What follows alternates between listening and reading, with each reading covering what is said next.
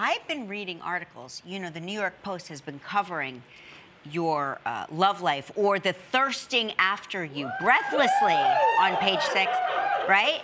They- Some good little woos out I'm here. telling you, everybody is lining up to be with you. Everyone. What say you, Nicholas? Um, You know, it's. I don't believe it. I don't believe it. I think someone's paying these writers. Right. Um, right. Right. My mom's probably paying the post. You think? know? Yeah. She's a Get big your name out fan, there? so- yeah. Yeah.